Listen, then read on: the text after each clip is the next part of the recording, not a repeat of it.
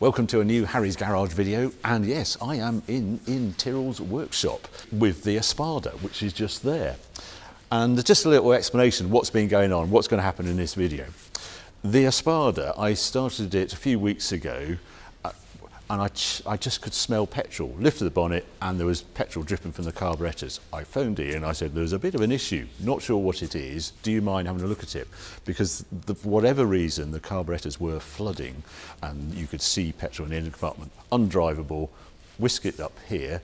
And I also asked him to do a power run on the engine because much as it ran really well, the Espada, after the Lumenition, ignition and all the nightmares we've had, had really good torque. And, but if you revved it right out to over 7,000, there was no real need. And it surprised me that it didn't have a sort of feeling of gathering horsepower as it went through the rev range. I asked him to put it on the rolling road. And that's what this video is about because we've made a discovery, which Iain will explain while I find him. So I think the best thing now, go find Iain and I will explain what we're up to. Iain, hello. Hello. I'm back. Welcome. Can't keep away. Yes, absolutely. Yes. yes. And with the Espada. Look, I always love coming up here because look at what's in here from Blower Bentleys, Astons. Yeah, and oh, just how many Miuras do you think we've got in here? Just uh, uh, four, I think. Four. and Countach is yeah. one of a few of those as well. Three, four. Four, yeah. So four. God, I, I just, yeah, extraordinary coming up here. Don't often see Testarossas in here though. No, we've had a bit of a run on them. It's they're like policemen or buses. You Yeah. get none in, and then all of a sudden They all arrive. Yes, And Espadas, blue one there. Yeah. And there's another one. in the corner. So there. yeah, I can't can't even win. Normally, I, this is the only I've never seen an Espada come up here. There's three, but yeah, we ought to explain what's been going on, haven't we, Yes. with this? Um, shall I lift this up and expose its lovely engine? I think we. Uh, uh, it's uh, it's it's worth mentioning. Yeah, Um, obviously, Marcello Gandini's just passed away. yeah. We've got. Uh, I worked it out. We've got 12 of his Italian exotics styled really? here uh, on site at the moment, which is amazing, actually. That is, isn't it? Oh, I've, I've been really, you know, the tributes that have come out have been terrific, actually. Yes. We- I knew I wasn't the only fan of Gandini, everyone was a fan, but just Yeah. to see the Yeah. impact he had and Yes. his designs. You know, you forget he did like BMW 5 Series Exactly. BMW, didn't he? That then Citroen BX. Citroen BX was, he used it every day, didn't he? Stratos to me is king. Oh, Uh, amazing. Yeah. Amazing. There we are. And obviously, Espada yes. Here. So yeah, I'm I'm a bit of a sucker for I think his design. I just love them. Yes, Absolutely love I them. agree. And you met him actually, didn't you? I you did. actually went out there and talked Miura with Yes. I did. He's a very, very. He invited me to his home. Um, Olivier Nemesh organised it. I must give him credit for that. Yeah. But he was so gracious. We took an interpreter. Right. He was incredibly humble, and he. I took the Italian job Miura, and he, he actually walked around the car and showed me how he designed it. Really? Unbelievable. Yeah. Um, Because it, yeah, it was very quick design, that wasn't it? Three months or whatever. yes, And I think even less than that actually. I saw an interview with Ferruccio Lamborghini and with Gandini and how they came up with the show's cars. And Ferruccio's uh, instruction to Gandini was the shock. It was there was nothing to follow. The, you couldn't say it was an evolution of a Lamborghini. There wasn't a Lamborghini look. It was just wow. Yes. Was every time the covers came off at the motor show. Yeah. Hence. And the Espada doesn't really look like a Countach or a Miura or anything. It was completely different. Amazing. And that takes some talent. It does. I agree. Yeah. Um, ap- apparently, the Marzal, apparently, Yeah. um, Ferruccio Lamborghini, when Nuccio Bertone first showed it to him, he, he Yeah. visibly, phys- physically shuddered. at the very thought, all that Have glass. I created this? Yes. it was a mad thing that I've seen. But yeah, Espada engines. So Yes. Yeah, I've just felt that it was great rebound. Everything worked well, and it had great grunt. You know, it had ridiculous feeling of torque, but not quite. The top end, Yes. odd. Well, it's, it's quite interesting because um, I've driven and worked on a few Espadas over the last 40 years, so I have an idea of what Yeah. the performance should be like. Yeah. And the performance on this car, um, top end wise, was just about where it's at. Yes. for a standard Espada. Right. Um, and it, on, an, on a standard Espada, it's all over by 7,000 RPM. You've got Yes. valve bounce at 7.2 because of the weight of the valve springs, Yeah. etc. Um, um, and as you know, we, we, we, we shot for the stars with building this engine. Yes. Um, and it's got all, as you say, it's got all the mid-range torque. I mean, I've never driven an Espada where you put your foot down and the front end goes Yeah. up like a Ferrari yeah. Daytona. Yeah, it shouldn't have it. It's a short stroke engine, four Yeah. litre, but it's proper Yeah. mid range grunt. Exactly, but higher up the rev range, I mean, we've been chasing ignition curves, we've been chasing all sorts of things. Yeah. And it got to the stage where, I mean, you, you said to me, you know, because to me the top end felt right, but it was skewed by the fact that we had ladlefuls of mid range torque. Yeah. Um, but really, the top end should be, as you say, it should be better. Yeah.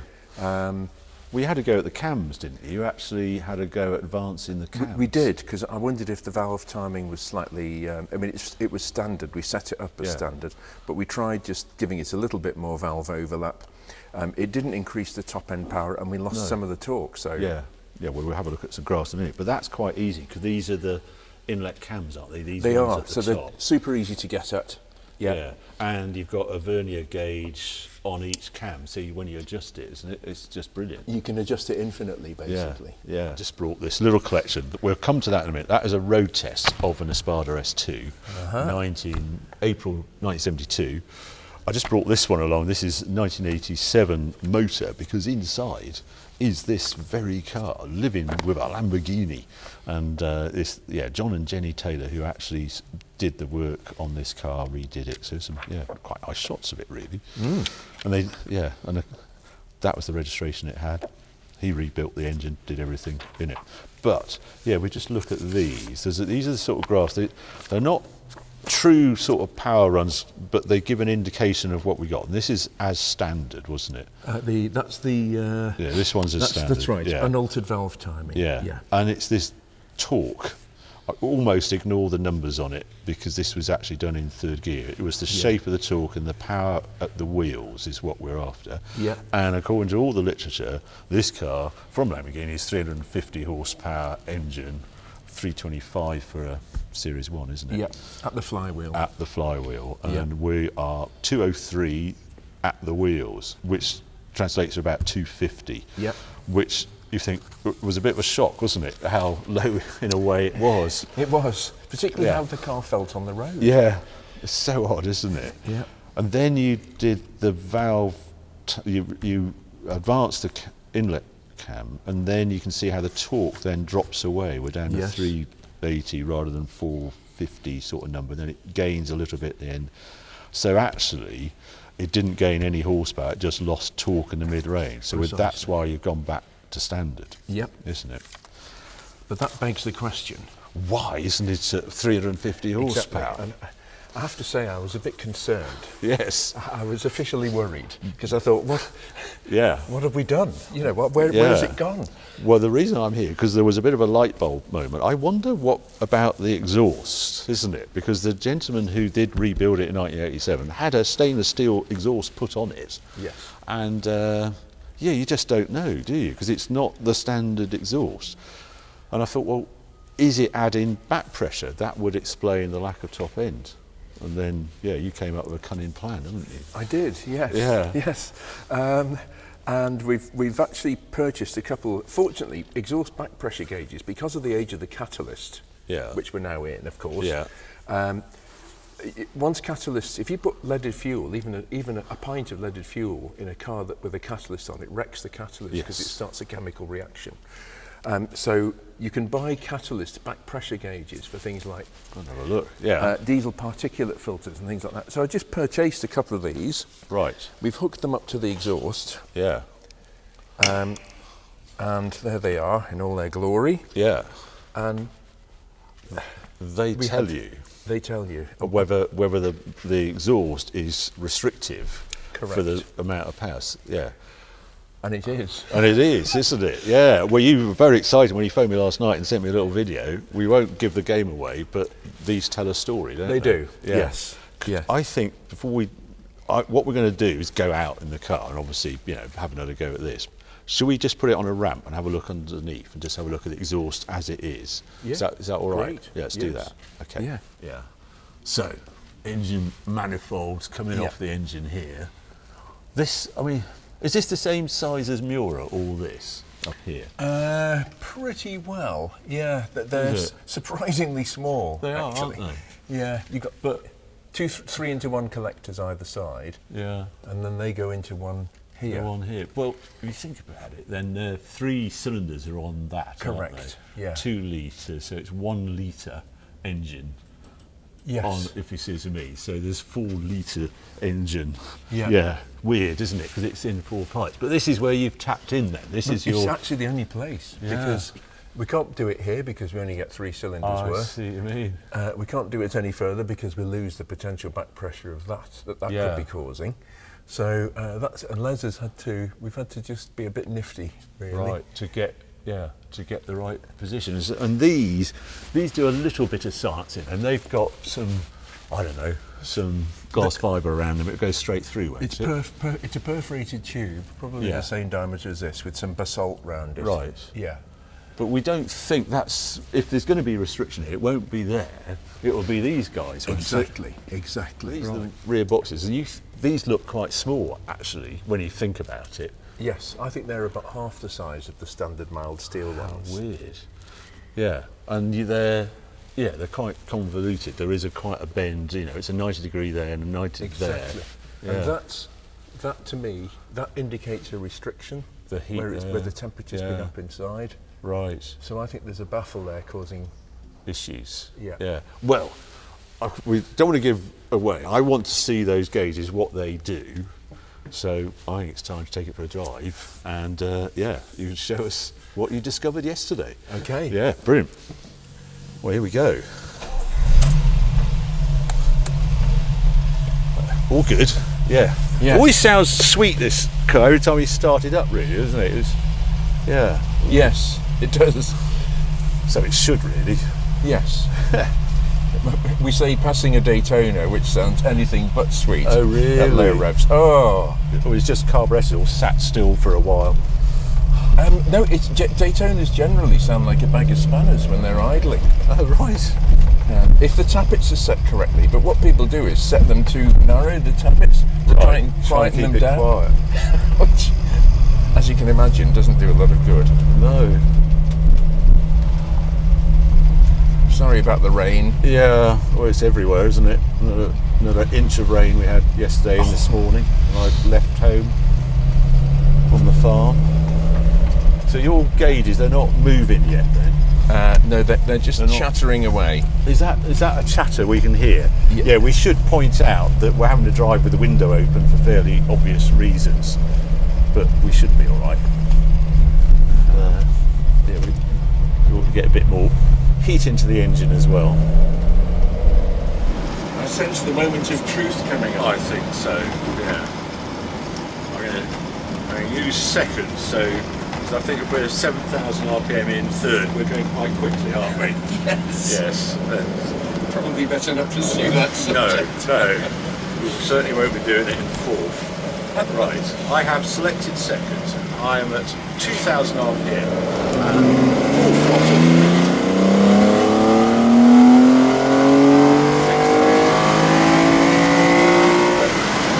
Right off the end of the scale. Was it really? Yeah. So that is saying there's real restriction at exhaust? Absolutely. I mean, massive restriction, not just a little bit. No. No. That's fascinating. Uh, and that would kill top end power Very much so. It's about six pounds per square inch back pressure, which is ludicrous. That's ridiculous. Right. That would keep your average uh, rib afloat six Yes. years. yes. That is high, isn't it? And what what should it be? Nearer. One or two? One or two, and it's six. So six pound psi back pressure.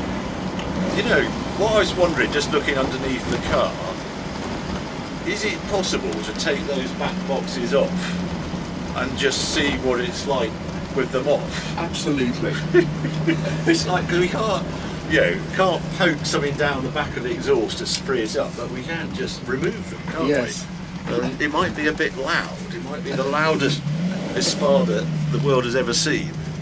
But it's it's important work. This. It's, co- it is. It's a scientific project. Yeah. We do need to find those missing horsepower. Yes. Yeah, good. Well, let's have a go at that. There we go. Easy as that. Is that going to... Oh, right. Now, of course, the lift's in the way. oh, no, No, it's coming off. It's coming off. this is warm. Yeah, good. That's excellent. That is a bit of a result, isn't it? That is. We like them when they come off like that. Yes. So the plan now is just to take the one off, isn't it? And then we don't have to, we can spot the difference exactly. Uh, on the gauges. And we're now dashing because there's an enormous amount of rain about to rock up. And we don't want to be doing it in the rain if we can help it. This is an original exhaust you had tucked away, wasn't it? This is out of a Jarama. This Yeah. is an answer mild steel. But you, I mean, that's got twice the. Uh, It was huge, completely different. yeah. Yeah. And look at the size of the rear. Yeah. yeah. You, you got the you got the uh, perforated bit inside there. I don't know if we see that.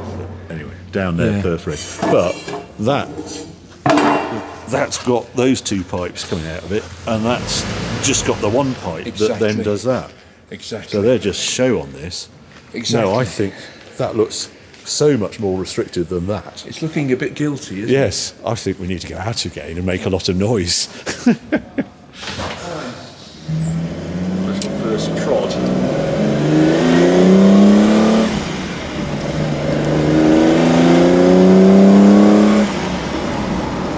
Does it feel responsive? Well, yeah, it's not quite. I can't say I've found it just yet, but yeah, your, your road has these annoying bends just coming up now, isn't it? Yeah. And uh, I might, sorry just put it into second now. Here we go. Yeah, it's improved. But there is still back pressure, There isn't is. there? There is. Which would explain why it's so quiet. Yeah. Because there's obviously still a lot of silencing effect from that front cylinder on the exhaust. Massively. But, right, into second. And here we go.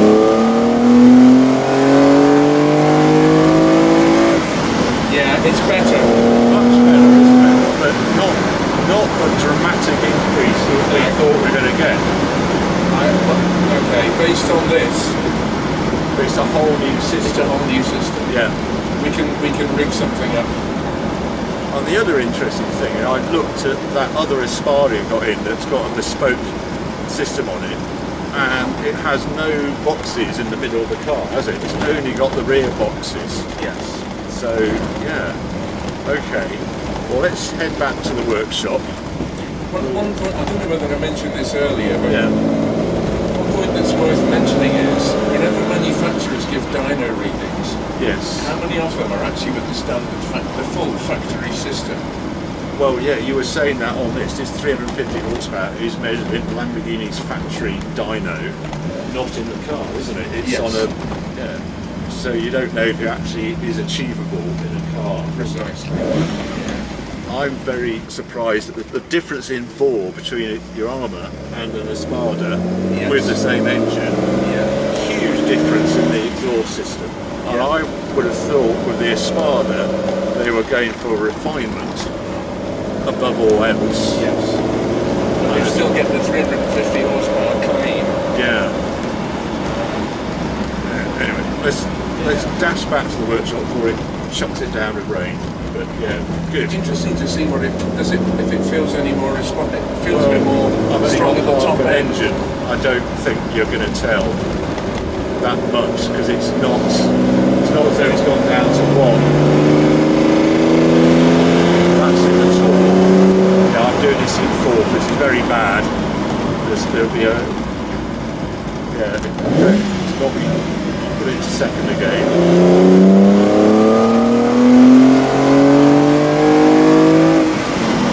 Feels a little stronger at the top end to me. The, the thing feels strong and quick. It does. So So It's quicker than any Espada I've ever been in. yeah, so we're, we're you know adding cherries and icing on top. It's a very delicious cake. But it is not a car that you say is always a bit slow. Yeah. And actually, against my Jaguar Coupe, I just has I like this has a racier feel about it. Just the engine, just the revs, just that induction bar. But there's more to give. Yeah. It might as well get to its full potential. Well, that was interesting, wasn't it? but uh, something missing at the back. Just looks wrong. I'm very, very surprised at that. I would have expected it to be louder, Unreal. Yeah. and uh, I'd have expected. I mean, it's still got quite a bit of back pressure on there. Yes. Um, I know. It's a whole new system, isn't it? I It is. thought. Yes. I thought we'd be using that, and we'll just be doing something with the agree. tail boxes. But Yes. I couldn't see where I, when I was driving what the peak was. We'll look back at the footage, but there was still significant, wasn't it? it Back was. pressure. Yes, it was. It was uh, about three psi, four psi down on the on the other side. Oh, so it's halved almost. yes, Is it? Yeah, yeah. at but it's still more than we'd want, really. Yeah. Well, looking at that rear box with that Jarama and my car, there's a huge difference in the bores. Yes. As I say, that Espada has got a completely different system as well. Nothing in the middle, all coming to the rear box. And also the rear box are linked, which I think is a good idea on Yes. that Espada. Yeah. And then there's that Espada. I can't remember that one. Uh, that one's similar to this, actually. yeah. See, uh, to go, I- think I don't think there's ever been a super efficient Espada exhaust Right. system Yeah. from day one. Well, looking at what you've I've seen today, I basically want a system off of Jarama put on this. That's Yes. that's where I see it. That Okay. was the performance Espada coupe. Yes. It's dramatically bit uh, different on those boxes. Yeah. And uh, yeah, there's nothing wrong with the engine, which is the good thing, isn't it? It's healthy as hell. I mean, it feels quick, so, you know. But yeah, it could be even better. Yes. Yeah. Well, we, we, we, we're, Yeah. It's a good project, I, though. I'm not sure I had a plan B if that back pressure No, was fine. no. Uh, so I'm very gratified to, uh, yeah, to, get find that. Well, yeah. Well, thank you, Iain. Thank you for getting those gauges in and discovering what we have. That's very useful. Pleasure. To be continued. we go. Well, there you are. There's the, the video on this Espada and this mystery on why that top end horsepower is missing. It looks like we're on a journey to get a big bore exhaust. I want to add more sound, more noise, and more go to this Espada. So we'll be back up here, I hope, with a lovely exhaust on it, and we'll have no back pressure, and it will fly. Hope you enjoyed this video. Yeah, keep watching, keep subscribing. More videos coming along very soon.